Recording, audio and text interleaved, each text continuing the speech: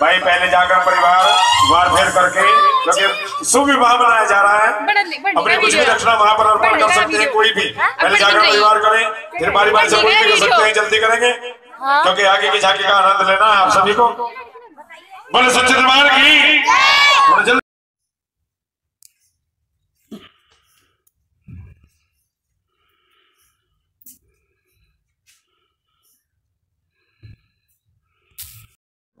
पहिना टाइम रोपिहाल्यो रोप्यो पहिला बिहानै पानी रोपिहाल्छ पनि बच्चै सौदी कसम